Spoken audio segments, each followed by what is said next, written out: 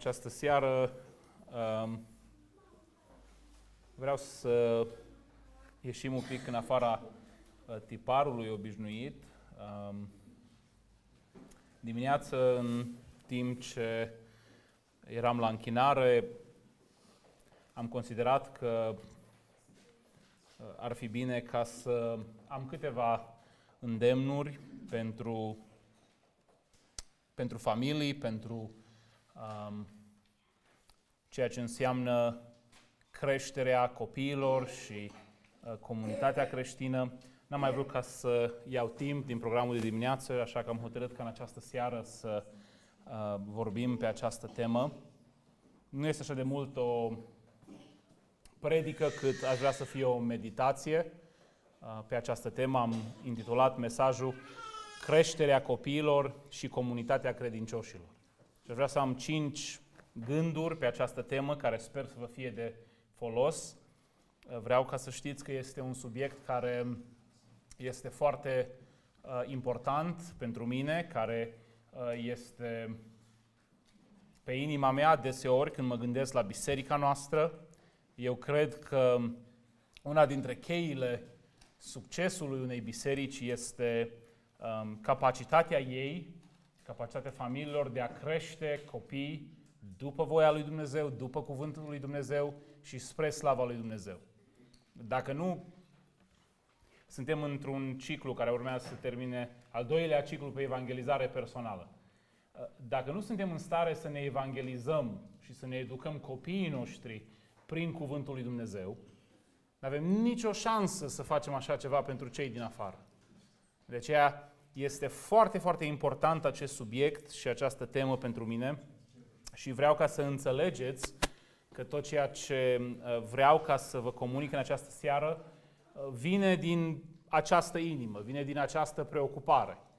Nu este de dragul de a face teologie dintr-un turn de fildeș, este din, uh, dintr-o inimă de păstor, dintr-o inimă care vă iubește, dintr-o inimă care iubește copiii acestei adunări și își dorește um, extrem de mult ca să-i văd oameni maturi într-o zi, oameni puternici în credință, bine um, înrădăcinați în cuvântul lui Dumnezeu, să-i văd slujitori a Evangheliei, în orice fel care Domnul consideră că ar fi bine ca să fie, uh, să fie chemați în slujire.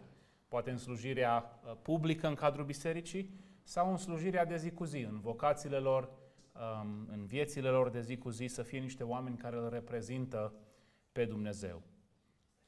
În primul rând, aș vrea ca să ne atragem atenția la realitatea că creșterea copiilor este o misiune corporativă, este un proiect al bisericii, al comunității.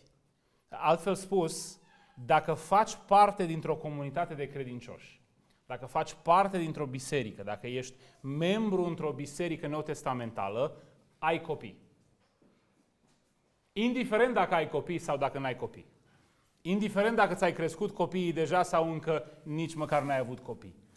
Dacă faci parte din trupul lui Hristos și dacă faci parte dintr-o biserică locală, indiferent de vârsta ta, indiferent dacă ești căsătorit sau necăsătorit, indiferent uh, de orice altă circunstanță, ai copii. Pentru că biserica are copii, pentru că trupul din care faci parte, familiile din care faci parte au copii, ai și tu copii. Um, rețin când eram copil și se discutau probleme despre copii în adunare sau deseori discutau surorile după biserică și așa mai departe și discutau despre un copil care, să zicem, era mai problematic în biserică. Și auzeam fraza asta foarte mult de la unele surori. Mai ales care aveau copii. Eu mi-am crescut copiii, eu n-am nicio treabă. Eu mi-am crescut copiii, nu soră e și copilul tău. Orice copil al bisericii este copilul tău dacă faci parte din acea biserică. Și suntem chemați ca și comunitate ca să ne creștem în comunitate copii. Nu ne putem dezice, nu ne putem eschiva. Um, Hristos spune că El, El este Tatăl orfanilor. Iar noi suntem reprezentanții Lui. Așa că toți copiii, până la urmă, aparțin lui Hristos. și prin urmare ne aparțin și nouă. Cei care, de exemplu, au părinți necredincioși sau doar un părinte credincios și uh, aparțin comunității bisericești. Biserica este responsabilă pentru ei și când zic biserică, nu mă refer la conducerea bisericii, nu mă refer la pastorul bisericii, nu mă refer la comitetul bisericii, slavă Domnului că noi nu avem așa ceva, mă refer la voi. Voi sunteți, noi suntem trupul local, reprezentarea trupului lui Hristos în mod local, responsabil pentru copiii adunării. Um, este un proverb, nu știu dacă e american, dar în engleză spune It takes a village to raise a child. Altfel spus, este nevoie de un sat sau de o comunitate să crești un copil. Acest proverb, poate cu 50 de ani în urmă, era foarte aplicabil pentru că, într-adevăr, într-o comunitate, într-un sat, într-o, uh, într-un loc unde societatea era foarte omogenă, era posibil ca să ai încredere în întreaga comunitate locală pentru creșterea copilului. Dacă lăsai pe copil la poartă să joace cu copiii vecinului, știai că nu conta care dintre vecini arunca o privire la copii, era cam tot una, pentru că societatea era omogenă.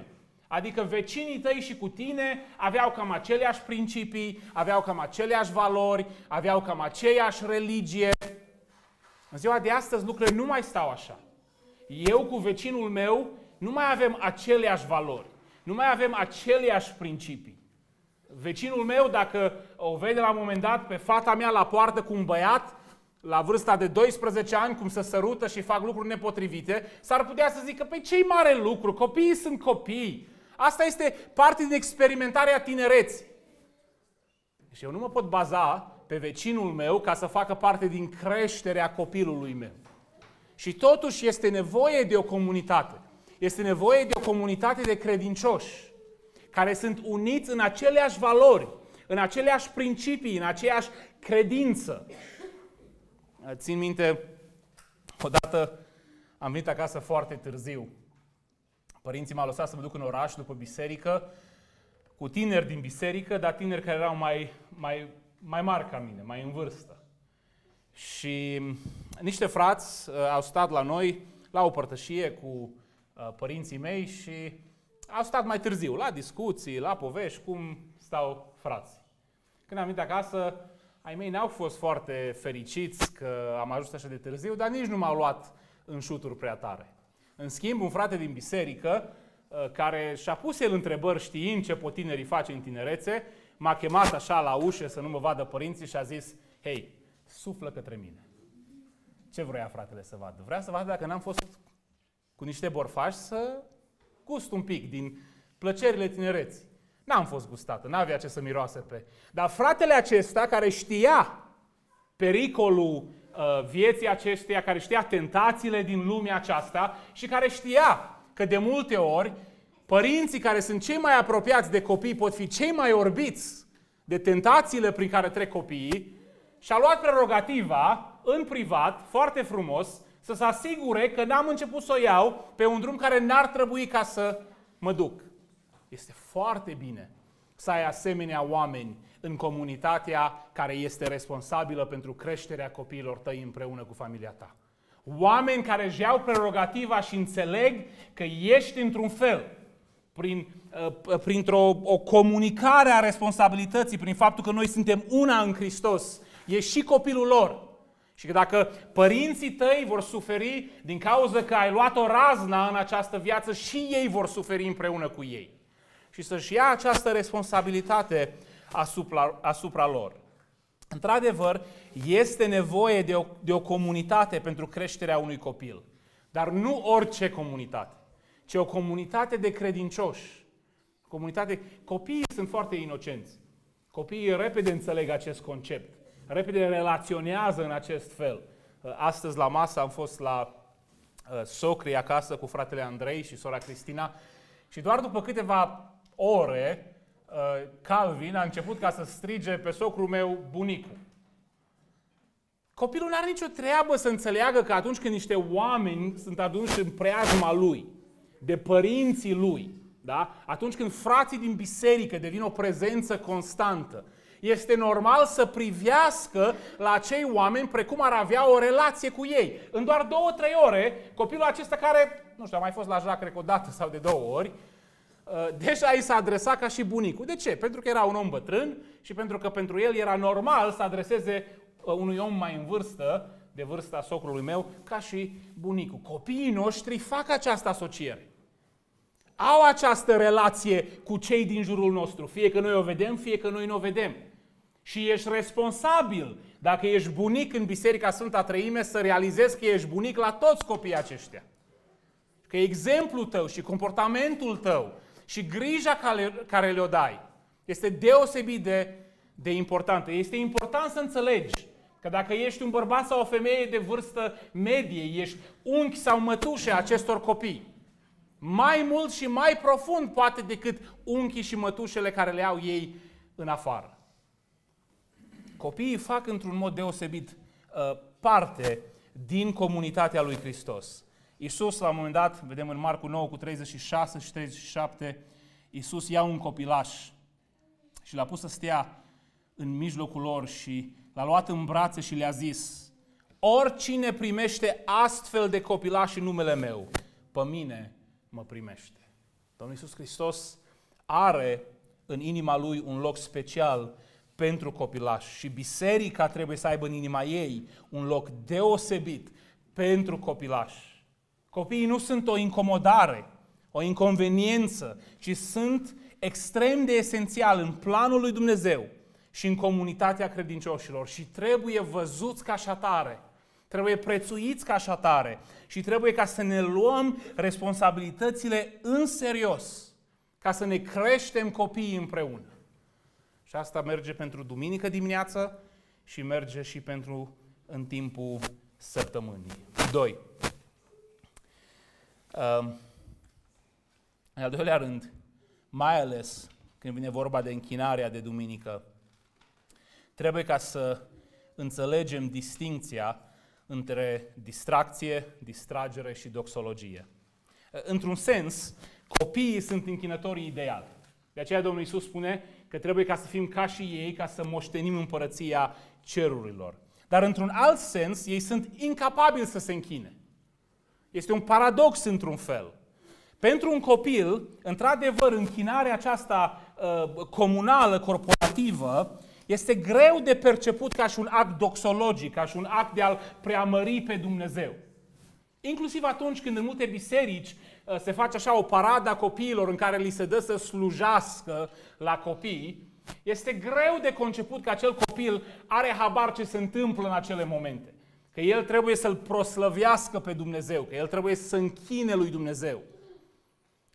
Um, dar chiar dacă nu are înțelegerea necesară, pentru a înțelege ca și un act doxologic, ca și un act de închinare, de, um, de a mări pe Dumnezeu, închinarea uh, corporativă, chiar dacă nu are înțelegerea necesară și mai ales nu are credința necesară, da? Noi considerăm că orice act de închinare trebuie ca să provină din credință. De aceea este foarte important ca tot ceea ce se face în cadrul bisericii, ca și act de închinare comunal, ca să aibă la temelie adevărul. Adevărul și Duhul lui Dumnezeu și oameni credincioși, pentru că Biblia ne învață că fără credință este cu neputință ca să fim plăcuți lui Dumnezeu. Primesc întrebări de genul întotdeauna, ă, nu v-ar place, de exemplu, și voi în biserică, nu știu, să aveți niște instrumentiști, să aveți niște instrumentiști, să conducă cântarea, pentru că e așa o o lenevie în cântare, dar să vede că vrea lumea să cânte, dar dacă ar fi un pianist, dacă ar fi un chitarist. Și le explic, uite care e problema. Mie mi-ar place să am un chitarist, să am un pianist, să am un om care a studiat canto, care să conducă cântările. Problema e că eu trebuie ca să iau pe oamenii ăștia ca și credincioși în congregația noastră, înainte ca să-i pot pune la slujire. Păi dar sigur găsești pe undeva niște oameni dispuși ca să vină și să cânte. Sigur că găsești. Un cântăreț, cum cântă într-un bar, cântă și într-o biserică dacă îl plătești. Unul necredincios vorbesc, da? Mai nou și credincioși cântă și în baruri dacă îi plătești. Problema este că actul de închinare necesită o închinare în duc și în adevăr, în credință. Ca atare, inclusiv, cineva nu poate cânta la chitară să asiste biserica în închinare dacă nu este un credincios. Cel puțin nu în această biserică. Cel puțin nu în această biserică. Da? Când Dumnezeu ne va dărui oameni în cadrul bisericii care au aceste daruri muzicale, ne vom folosi de ele, ne vom bucura de ele. Când Dumnezeu va dărui orice fel de dar acestei biserici, ne vom bucura de ele. Dar nu vom încerca să fabricăm aceste daruri, doar să spunem că ce fain este la noi. Poate că Dumnezeu, poate că Dumnezeu vrea să ne învețe o lecție prin faptul că încă nu ne-a dat aceste daruri. Mulți oameni sunt așa de fascinați de aceste lucruri, care de altfel sunt bune. Și le îndrăgesc așa de mult, încât au făcut în ele priorități așa de importante, încât rugăciunea, încât uh, studierea cuvântului, predicarea Evangheliei, s-au diminuat din ce în ce mai mult în adunare. Poate că Dumnezeu de aceea nu ne dă aceste daruri acum, ca să înțelegem care sunt prioritățile, ca să ne punem temeliile în cuvânt suficient de puternic, încât atunci când ne binecuvântă cu ele, să știm să le folosim și să le administrăm în mod corect. De aceea, copiii, copiii uh, nu sunt folosiți în închinare. Pentru că realmente, dacă ar fi folosiți în închinare, asta îmi face. Ne-am folosit de ei. Am abuzat de lucrul acesta. Am fi niște vampiri duhovnicești. Vrând ca să luăm din vlaga lor, care este de altfel firească și nu duhovnicească, să ne simțim noi mai vioi. Ci în schimb copiii sunt invitați ca să, să închine împreună cu noi, ca să învețe despre închinare. Chiar dacă ei nu pot înțelege scopul doxologic în închinare, există pentru ei un scop didactic. Adică ei pot învăța despre închinare și din închinare, chiar dacă încă nu pot în plinătate ca să se închine. Și trebuie ținut cont acest lucru. Faptul că copiii noștri încă nu au rațiunea necesară, încă nu au credința necesară să aducă închinarea necesară în cadrul bisericii. Nu înseamnă că nu există un scop și un rol important ca ei să participe la închinare. Chiar dacă este doar didactic. Noi vrem ca copiii noștri să învețe despre închinare și să învețe din închinare. Că atunci când vor fi oameni mari, că atunci când vor fi credincioși, ca să se închine după cuvântul lui Dumnezeu, pe placul lui Dumnezeu. Din păcate, noi căutăm ca să-i distrăm și să-i distragem de la închinarea bisericii, decât să-i învățăm despre și în închinarea bisericii. Noi căutăm să-i le dăm ocupație. Mă, două ore pentru un copil e mult. O oră jumate seara e mult. Și este mult. Dar decât să încercăm ca să-i angrenăm într-un scop didactic și să-i învățăm ce este închinarea, ce se face în închinare, ce scop are închinarea, noi încercăm să-i distragem de la faptul că sunt în mijlocul unei închinări și să-i distrăm în mijlocul închinării. Este esențial eronat. Ar trebui să fie, dacă nu un act doxologic pentru ei, măcar un act didactic. La fel cum se duc la școală și stau acolo o oră la o lecție, da, la o clasă și învață ceva, chiar dacă nu înțeleg profunzimea lecției, nu înțeleg cum se aplică, dar învață ceva, la fel și la biserică ei trebuie ca să învețe. Dacă la școală, de exemplu, când profesoara încearcă să învețe pe copilul tău tabla înmulțirii, de exemplu. Știind că tabla înmulțirii este ceva necesar să fie cunoscută toată viața lui. Absolut esențială. N-are cum ca să, nu mai poți ca să zidești în matematică fără să cunoști tabla înmulțirii, da? Sau cum să aduni și să substragi uh, uh, uh, numere. Dacă ar fi un copil acolo, care în timp ce profesoara explică tabla înmulțirii, tot timpul ar distrage atenția copilului. Un alt, un coleg, să zice, hei, hei, Ian, hei, Ianis, lasă pe profesoară. La, la, lasă, hai să ne jucăm noi un joc, să inventăm noi un joc. Da? Și ar veni profesoara și ar zice, uite, care e problema? Eu încerc să învăț pe copii și copilul tău numai nu stăpânește tabla înmulțirii pentru că există un alt copil care tot timpul îl distrage și încearcă să-l distreze în loc ca să îl lase atent la lecția mea. Ce ai spune? Ce ai spune părintelui acelui copil? El spune, hei, bagă-ți mințile în cap, tu nu-mi strici copilul meu de cap și ruinezi viitorul pentru că copilul tău nu are uh, uh, de gând să stea cu minte la școală. nu e așa? Eu cred că ai fi foarte categoric. Pentru că ai înțelege că actul didactic care se petrece la școală, când el trebuie să învețe tabla mulțirii, este esențial pentru viitorul lui. Dar în biserică. Dar în biserică, când noi creiem metode de distragere, în loc ca să încercăm să-i angrenăm în actul didactic, să le atragem noi atenție, hei, hai să fim atenți. Uite, hai, hai să ascultăm rugăciunile. Hai să cântăm împreună, așa cum poate un copil, da? Uite, hai să ascultăm predica acum. Și uite aici un caiet, îți notezi, desenezi tu, e clar, ești un copil, dar hai să ascultăm predica și să discutăm după. Facem asta sau uh, hai să văd cum pot ca să te distrag, încât să uiți că ești la biserică. Hai să văd cum te pot distra, încât să uiți că ești la biserică. De ce? Oare nu este învățătura bisericii sau actul didactic de închinare esențial pentru viitorul copilului nostru și copilului vostru? Este. Atunci de ce îi distragem și îi distrăm și nu îi, și nu îi învățăm? Dovada, dovada că n-am înțeles acest lucru este felul în care ne echipăm copiii pentru închinare felul în care îi pregătim copiii pentru închinare, de exemplu în comparație cum îi echipăm și îi pregătim pentru școală.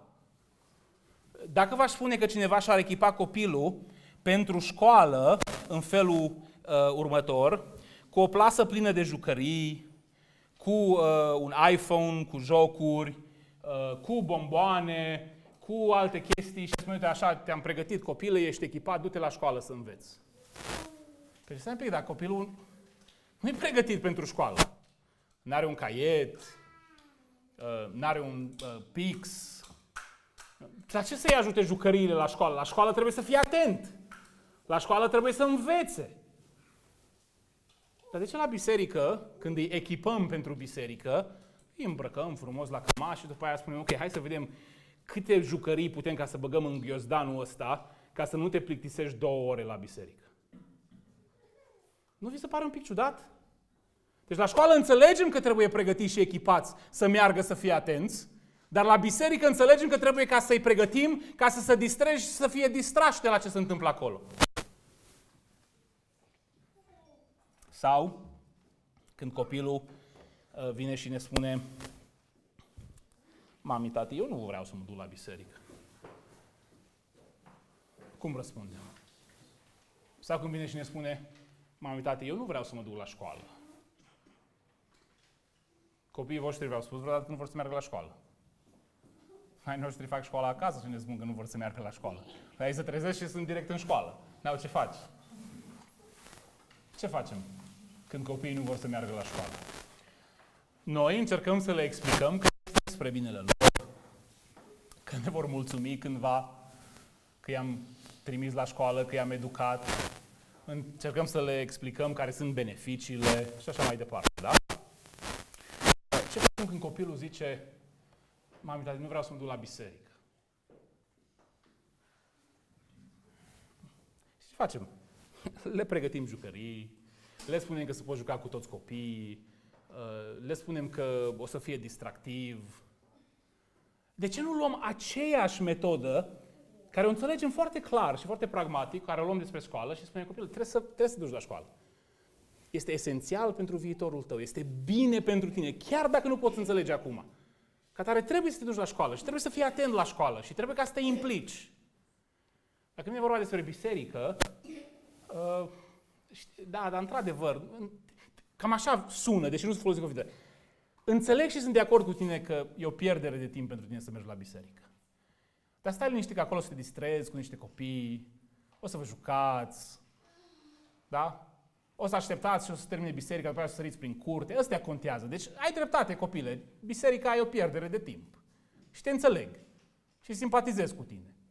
Da? Uite, dacă vii totuși la biserică, mami și tati vor face tot ce stă în puterea noastră să te distrăm, să te distragem și să-ți atragem atenția asupra prietenilor tăi și asupra altor copii decât asupra ceea ce se întâmplă acolo. Cam așa se întâmplă, recunoașteți, nu? De multe ori cam așa se întâmplă când avem problemele acestea cu copiii noștri. Oare n-am putea ca să-i pregătim altfel? Oare n-am putea să-i pregătim învățându-i despre închinare? N-am putea să-i pregătim oare practicând închinarea în cadrul familiei? De ce este oare ciudat pentru un copil ca să stea și să asculte rugăciuni la biserică? Pentru mulți copii este ciudat pentru că niciodată n-au ascultat rugăciunea acasă. De exemplu, am constatat și eu, și aici trebuie ca să-i dau mai mult credit uh, soției decât, că de multe ori eu am tendința ca să-i pun pe copii să se roage doar. Și cred că mi-am făcut datoria, dacă înainte să îi pun la culcare, am zis, ok, fetelor, fiecare să zică rugăciunea și le-am ascultat rugăciunile și sunt foarte frumoase și mă simt foarte împlinit, că mi-am făcut datoria de tată, dar nu așa de mult ca ele să mă asculte pe mine rugându-mă. Știi, aia e treaba mea. Cum o să am o rugăciune de om matur. Poate cu soția, poate singur. Ce treabă are un copil de 10 ani, de 6 ani, să asculte rugăciunea mea sau rugăciunea soției?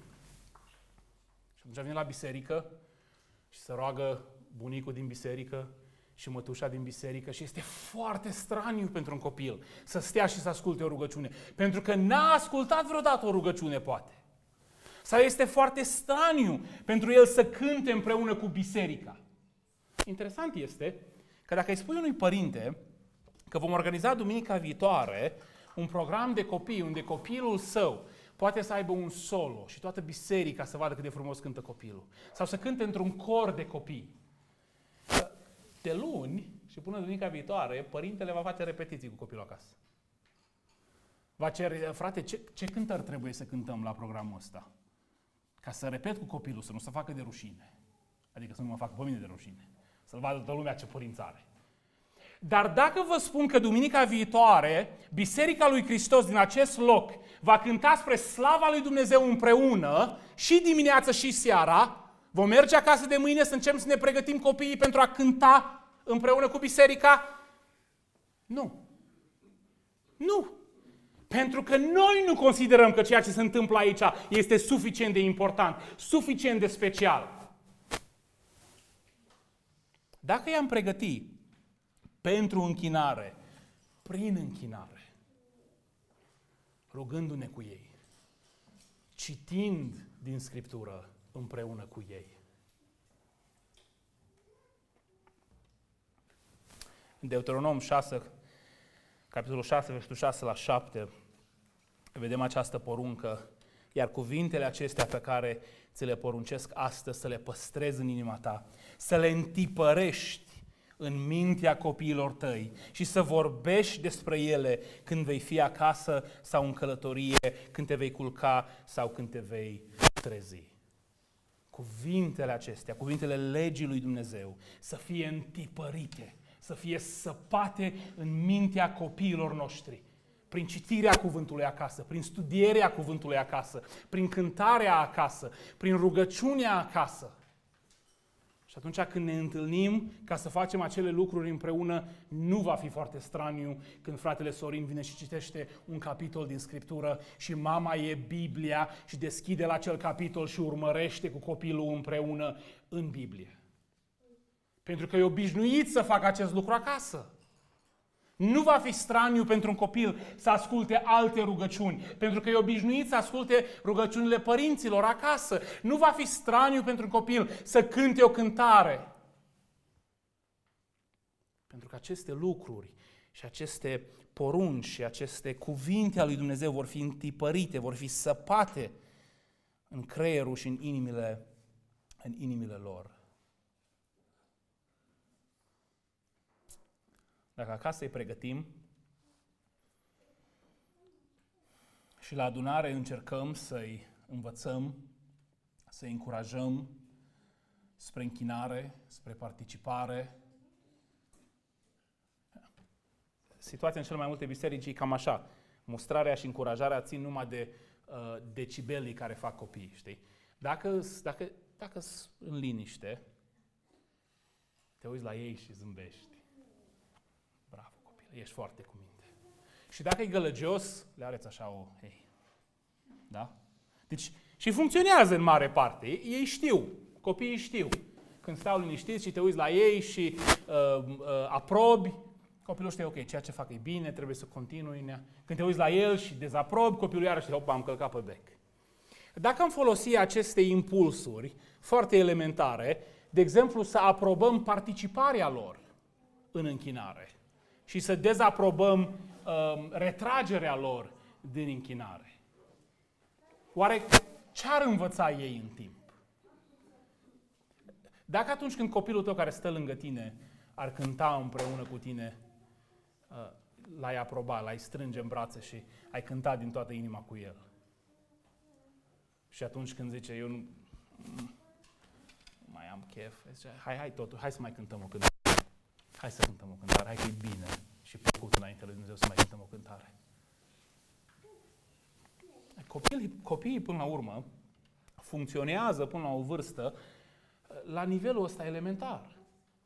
Trebuie într-un fel programați ca să înțeleagă ce este bine și ce este rău. Trebuie să deprindă aproape motric până la o vârstă de asemenea lucruri. Noi în închinare, la adunare, trebuie să învățăm. Trebuie să încurajăm spre închinare și spre participare în viața bisericii. Nu să-i distragem și să-i distrăm. Pentru că asta duce doar la distrugerea lor. Pentru ei, tot ceea ce se întâmplă aici, acum, când sunt la vârsta asta, în 10 ani, dacă le dăm aceleași semnale, și anume, lasă-mă doar în pace să-mi fac eu treaba, că asta nu ține de tine, în 10 ani va duce la distrugerea lor pentru că ei nu își vor mai găsi locul în mijlocul închinării. Și când vor putea verbaliza aceste lucruri, vor spune, mami, tati, nu mă simt ok. Acolo, nu, nu-mi trebuie, nu, nu. Și pierdem. Știu ce vă gândiți. Și ce au încercat cei mai mulți. Hai să le dăm lucruri care în mod firesc le plac. Și așa îi pierdem. Că în loc să-i distrăm cu jucării și să-i distragem cu alte lucruri, programul bisericii e făcut să-i distreze și să-i distragă. Păstorul îi distrage de la Evanghelie, da? 3. Trebuie înțeles și învățat rolul tăcerii, ascultării și vorbirii. Cel mai greu lucru de învățat în viață este să înveți să taci. Eclesiastul spune în capitolul 3 că există un timp pentru a tăcea și un timp pentru a vorbi. Iacov ne spune în capitolul 1, um, fiecare om să fie grabnic la ascultare și încet la vorbire. Există o ordine a lucrurilor, inclusiv în viață. Există o ordine a lucrurilor. Trebuie să înveți să taci, trebuie să înveți să asculți și după aia vei putea vorbi. Există o vreme pentru toate aceste lucruri. Biserica modernă a inversat cumva ordinea lucrurilor. Copiii, având tendința oricum în mod natural ca să vorbească, dacă îi lași de unii singuri, vor povesti și vor vorbi și au de spus la maxim. Da? Pot povesti ore întregi. Inventează, debitează tot felul de lucruri. Și biserica, văzând dorința asta lor, îi pune să vorbească. Pe dacă e natural pentru ei să vorbească, lasă-i să vorbească, să cânte, să recite, da? Și când nu sunt activi în cadrul programului, lasă-i să vorbească între ei. Ce poate fi rău în a vorbi? Ce poate fi rău în a vorbi că nu înveți vreodată să taci? Nu știi ce înseamnă tăcerea. Inclusiv înaintea lui Dumnezeu. Întâlnesc oameni maturi care nu știu nici înaintea lui Dumnezeu să tac. Nu pot percepe, de exemplu, ca să meargă în rugăciune în tăcere înaintea lui Dumnezeu. Ei au doar de comunicat ceva lui Dumnezeu. N-au nimic de ascultat. N-au nimic de primi. Ei numai trebuie să-și exprime părerea. De ce? Pentru că de la o vârstă fragedă s-au inversat lucrurile. Și toți părinții, hai să vedem ce are copilul de spus. Lasă-l să tacă. Învață-l să tacă. Învață-l să asculte. Învață-l că este vremea în viața lui când mai important să tacă și să asculte și să nu vorbească. Măcar pentru două ore duminica. Că în rest, poate zice multe prostii și va zice multe prostii. Dar măcar două ore pe săptămână sau trei ore jumate să învață ce înseamnă să taci și să taci înaintea lui Dumnezeu. Nu-i de mirare. Nu-i de mirare că atunci când cresc mari, vorbesc numai prostii. Nu au tăcut și nu au ascultat cum ar fi fost normal să facă la vremea potrivită. Și nu au cum să învețe ca să vorbească și să vorbească după voia lui Dumnezeu și din cuvântul lui Dumnezeu dacă n-au tăcut și n-au ascultat la vremea potrivită. Este un fapt științific că nu poți asculta și vorbi în același timp. Nu se poate. Auzi sunetul, auzi zgomotul, dar nu-l poți procesa. Creierul tău trebuie să fie activ ori în vorbire, ori în ascultare. Ca să poți procesa și să poți ca să îți însușești tot ceea ce se spune. Foarte important această învățătură ca să știi să taci și să asculți, ca să ai ce să vorbești. Dacă vrei să ai un copil înțelept, un copil inteligent chiar, învață-l să tacă și să asculte. Și la vremea potrivită va ști ce să vorbească. Va ști ce să vorbească. Pavel scrie copilului său în credință, așa îl numește pe Timotei, și îl încurajează pe Timotei, tânărul păstor, ca să vegheze împotriva învățătorilor falși. Și învățătorii aceștia falși chiar asta făceau. Vorbeau lucruri despre care nu știau nimic. Pentru că n-au ascultat când era vremea de ascultat. 1 Timotei 1 cu 6. Unii s-au rătăcit de la aceste lucruri și s-au întors la flecărel. Ei vor să fie învățători ai legii, fără însă să înțeleagă nici ceea ce spun. Nici lucrurile asupra cărora insistă. Ce zice Pavel? Sunt oameni aceștia care se dau mari învățători, dar ei n-au nici măcar habar ce vorbesc. Le place să se audă vorbind, le place să se audă predicând, le place să audă sunetul glasului propriu, dar nici măcar nu știu ceea ce spun. Pentru că s-au depărtat de la învățătura sănătoasă, de la ascultarea ei, pentru că nu au ascultat ceea ce trebuiau și n-au învățat ceea ce trebuia. Oameni care vorbesc ceea ce nu cunosc. În contrast cu felul care Pavel îl descrie și vorbește despre acest tânăr slujitor, despre Timotei, spunând în 2 Timotei, capitolul 3, versetul 15, din copilărie cunoști Sfintele Scripturi, care îți pot da înțelepciunea ce duce la mântuire prin credință în Hristos Isus. Timotei a tăcut și a ascultat și a învățat cuvântul lui Dumnezeu în copilărie. Și acum are ceea ce să spună. Știe ceea ce trebuie vorbit. Marii oameni al lui Dumnezeu se formează în cadrul unei familii credincioase. Se formează în cadrul unei biserici credincioase. Acolo unde pot ca să învețe să tacă, să asculte și să învețe să vorbească cuvintele lui Dumnezeu. Foarte important. Înțelegem de altfel în mod firesc acel lucru când transpunem acest principiu într-un context firesc. Dacă mergem cu copiii la un film sau la un eveniment cultural, care e foarte bine să mergem cu copiii la un eveniment cultural, la teatru, la orchestră, la orchestră, la o simfonie și așa mai departe, e foarte bine, da? La un muzeu, de exemplu. Dacă îi ducem pe copii în aceste cadruri, nu e așa că ne îndeamnă și firea că ar fi lipsit de respect ca să începem și acolo unde e liniște, să povestim cu copiii noștri sau să-i punem să povestească ei între ei în timp ce evenimentul se desfășoară, în timp ce artiști interpretează acea piesă de muzică clasică. Parcă firea ne spune, măi, nu e ok. Ceva nu e ok. Nu e ok ca să, să nu numai ca să le permit, dar să le zic lor, auzi, stați voi acolo în colț și faceți câtă gălăgie vreți voi vorbind și povestind, eu o să încerc să ascult piesa asta de teatru. nu e așa? Oare de ce în biserică nu ne îndeamnă același bun simț? Și ce este trist? Acel eveniment cultural sau artistic sau de film s-ar putea, s-ar putea, deși sunt multe care sunt benefice, s-ar putea să fie chiar o pierdere de timp. Și într-un fel să fii justificat. Să zici, măi, copilul meu nu are nevoie de asta. Deși dacă copilul nu are nevoie de aia, nu știu de ce te-ai dus tu. Cel mai uh, haios lucru care l-am văzut, apropo de uh, dacă copilul are nevoie sau nu de un lucru, este un videoclip promovând uh, ceva închinare din asta super carismatică la Cluj. Și s-a filmat un clip de promovare și în acel clip arătau tot felul de oameni care se închinau. Țopăiau, cântau și așa mai departe. Și la un moment dat este o mamă, este o mamă cu copilul pe umeri, care este și ea la această închinare.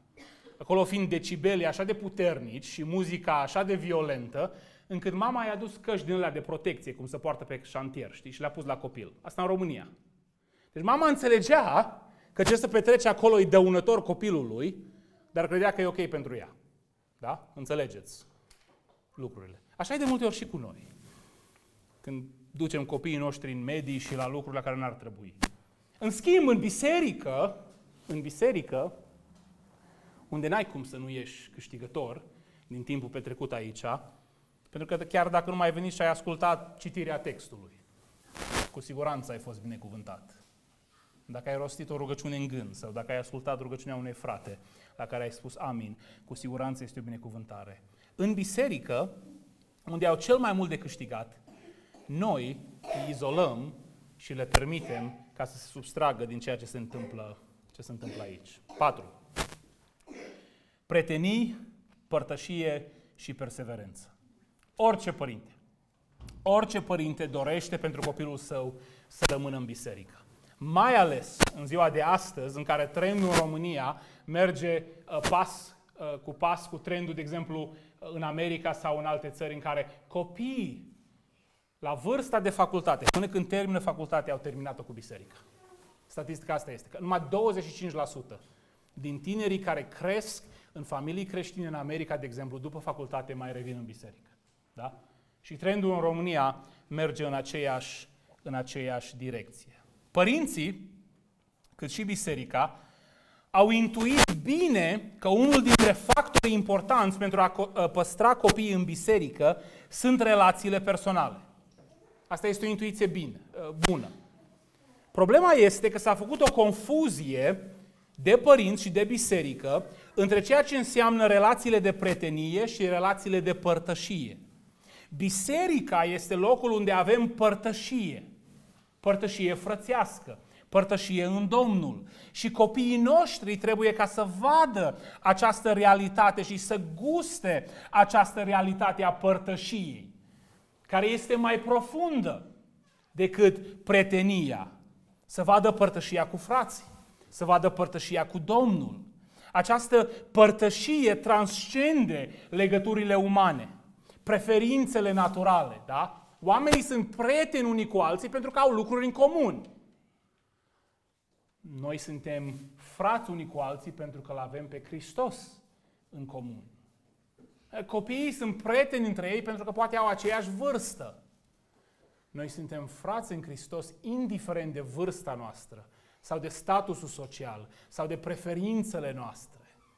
Părtășia transcende acești factori umani.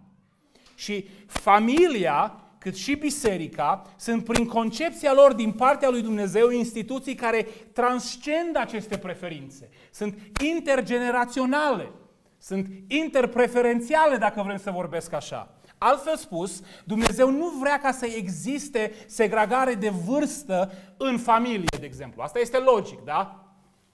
Deci, știi, uh, bunii și bunicul sunteți cam bătrâni să faceți parte din familia noastră. Și noi suntem mai tineri. Și copiii noștri sunt mai tineri. Noi avem alte preferințe, altă cultură. Ca tare, noi nu avem nicio treabă cu voi. N-ar părea absurd? Și totuși exact asta se întâmplă în biserică. O separare pe vârstă, pe preferințe. Biserica ca și familia este chemată ca să fie o unitate intergenerațională care nu ține cont de preferințele umane, pentru că părtășia noastră nu este ca o prietenie umană. Părtășia noastră este fondată pe realitatea care este Hristos. Ca atare, eu am părtășie cu fratele Avram, la fel cum am părtășie cu fratele Radu, la fel cum am părtășie cu un tânăr de 17 ani. Nu contează că avem vârste diferite, nu contează că venim din culturi diferite, nu contează că avem preferințe diferite. Ceea ce ne unește este părtășia care o avem în Hristos. Acum, copiii noștri, copiii noștri vor să aibă prieteni. Și este bine. Dar ar trebui ca să căutăm să le arătăm ce este părtășia. Nu doar prietenia. Ar trebui ca să căutăm ca ei să experimenteze părtășia bisericii. Nu doar prietenia între ei, care vine de la sine și este naturală. Unitatea. Părtășia care o experimentăm în biserică nu ține de vârstă, nu ține de o cultură comună, nu ține de preferințe comune, ci de realitatea comună și anume răsumpărarea care o avem în Isus Hristos. Dacă de la o vârstă fragedă acest lucru este prezent și evident copiilor noștri, copilul crește într-o comunitate biblică. El înțelege că este normal ca să ai părtășie, o relație mai profundă decât una de, de pretenie cu un bărbat, de exemplu, de trei ori vârsta ta. Că este normal ca să stai în părtășie cu oameni tineri și bătrâni, cu oameni educați și needucați, cu oameni care au preferințele tale muzicale și care n-au preferințele tale muzicale. Dar ei trebuie să înțeleagă asta de la vârsta fragedă și când vor crește mari, nu va fi straniu pentru ei ca o grupare de oameni care n-au nimic aparent în comun să fie cei mai buni prieteni și să aibă părtășie. Dar dacă nu înțeleg acest lucru, când ating 18 ani, 19 ani, 20 de ani, mi zic, mami și tati, știți, eu n-am nimic în comun cu bisericuța voastră. Și nu-i nimeni acolo care pot să fiu prieten. N-am, n-am nimică. Ce am eu cu fratele Sorin? Acum mai și bătrân, și ce am eu cu el? Da, o să zică copilul. Pentru că n-a înțeles diferența între părtășie și pretenie. Preteniile nu vor ține pe copii în biserică. Nu vor ține pe copii în biserică. Își pot forma alte pretenii foarte ușor în afara bisericii. Părtășia, în schimb, îi va ține ancorați în biserică. Preteniile lor nu-i vor ține aici. De fapt, când vor crește mari, dacă n-au experimentat și n-au învățat ce este adevărata părtășie, ce se întâmplă în cadrul bisericii va fi ceva foarte straniu pentru ei. Și cinci. Dragostea de prunci și nenorocirea lor. Dragostea de prunci și nenorocirea lor. În Proverbe 13 cu 24 ni se spune, cine cruță nu iaua, își urăște fiul, dar cine îl iubește are grijă să-l disciplineze. În Matei 10, cu 37, Domnul Iisus spune, cel ce iubește pe tată sau pe mamă mai mult decât pe mine, nu este vrednic de mine.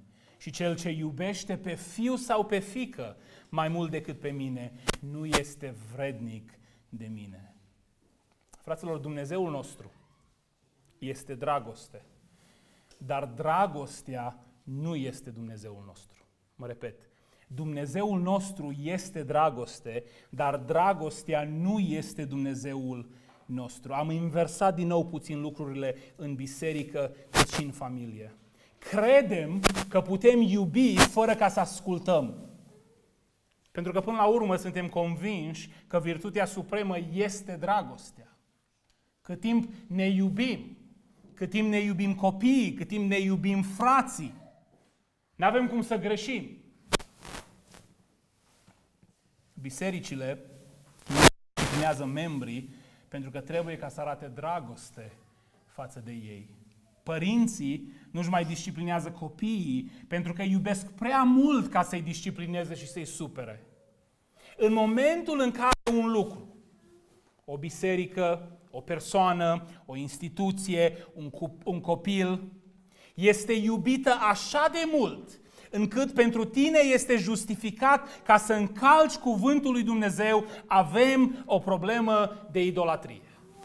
În momentul în care ți se rupe inima ca să-ți disciplinezi copilul după cuvântul lui Dumnezeu, pentru că ți prea scump și prea drag și crezi că știi tu o altă metodă decât cea biblică ca să-l crești spre binele lui.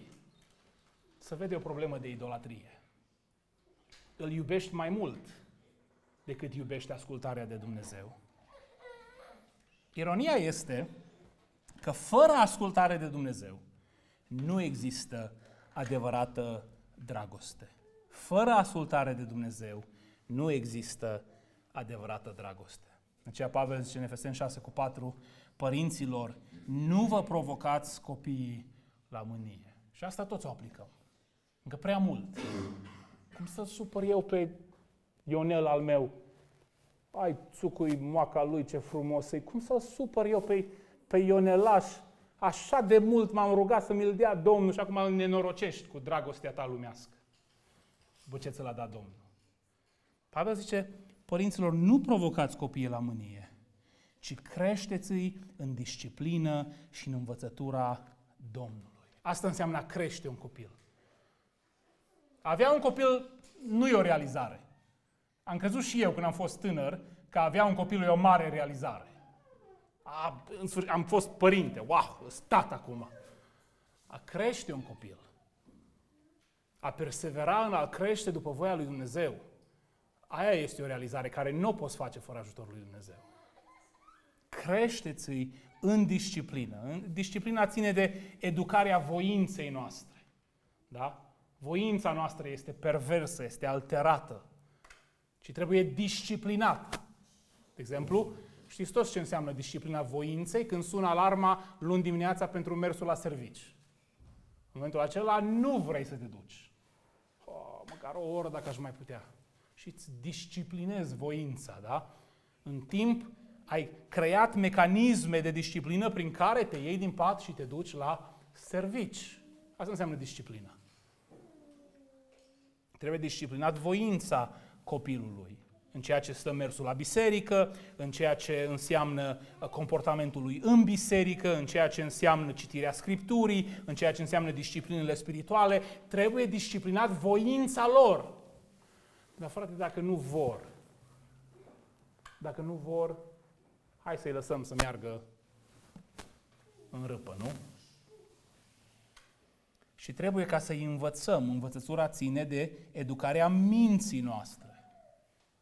Copiii noștri trebuie disciplinați în voința lor și educați în mintea lor. Trebuie să aibă deprinderi corecte și trebuie ca să aibă o învățătură care să le formeze gândirea corectă. Un copil crescut după Scriptură este unul la cărui viață îi modelează gândirea, îi modelează, uh, uh, a cărui uh, viață este modelată de Scriptură și gândirea lui este modelată și voința lui este modelată și comportamentul lui este modelat. Pavel spune, nu vă provocați copiii la mânie. Cei care sunteți părinți știți de ce spune Pavel asta. Că în momentul în care încerci să corectezi un copil sau să educi un copil, riști ca să-l provoci la mânie. Ionelașul al tău, care îi rup din stele, când îi zici, stop, două ore la televizor ți-au ajuns, citește o carte. Zici că ei poate intra draci în el. Să țipă de pământ, îți spune că nu mai te iubește. Nu se poate, cum îl maltratezi în halul ăsta. nu așa? Ați experimentat și voi. Voi care aveți ăsta micuți, micuți, încă nu știți. Nu-și pot exprima păcatul care îl au în ei. O să vină vremea. Și Pavel spune, nu-i provocați la mânie. Cum?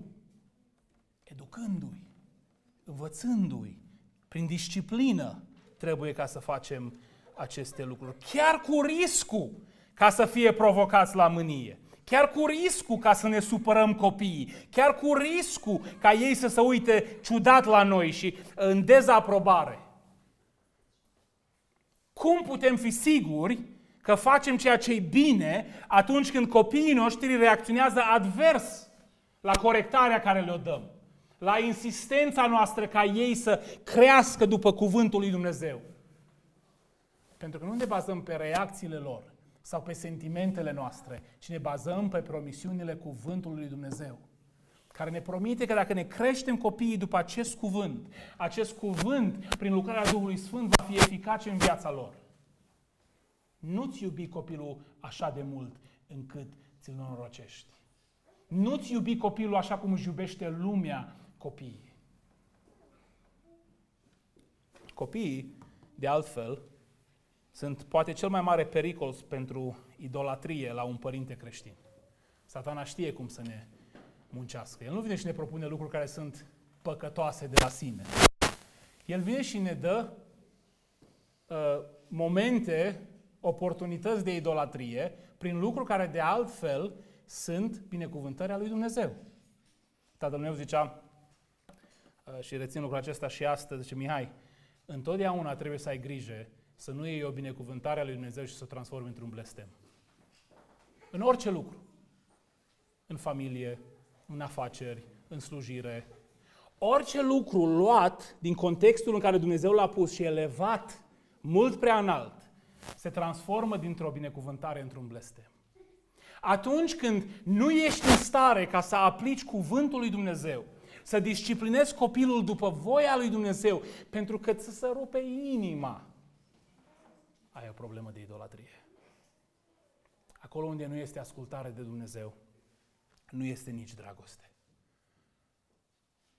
Este mai important pentru copilul tău ca să înțeleagă că tu îl iubești pe Dumnezeu mai mult decât îl iubești pe El. Asta este dragostea supremă care trebuie comunicată la copil. Și când va fi mare, va înțelege că iubindu-L pe Dumnezeu, într-adevăr l-a iubit și pe El, într-un mod desăvârșit. Știu că poate nu pare momentul cel mai oportun la cina Domnului să discutăm despre aceste lucruri. Dar, înainte ca să închei și să uh, cântăm, uh, să mergem în rugăciune și să ne apropiem de masa Domnului, vreau să vă sugerez că inclusiv actul acesta, simbolul acesta, este un moment deosebit didactic și o binecuvântare deosebită pentru copiii voștri. Poate până acum ați ratat-o. Poate până acum n-au fost discuții în familie despre ceea ce înseamnă cina Domnului. Um, rețin într-o duminică, când am ieșit afară, Calvin a venit după mine și uh, a întrebat-o pe Cristina și a vrut ca să știe uh, care e treaba cu cina Domnului și de ce copiii nu pot să ia cina Domnului. Copiii își pun întrebările acestea. Copiii gândesc logic și teologic. Trebuie să fii dispus să-ți faci și tu partea ca și părinte. Vom participa împreună la cina Domnului și ei vor sta jos aveți un moment extraordinar în această seară, o oportunitate extraordinară să le vestiți lor Evanghelia. Într-un fel care o pot înțelege. Pentru că există și vizualul, există, există tot ceea ce un copil poate înțelege. Sper să profitați de ea. Și sper să vă iubiți copiii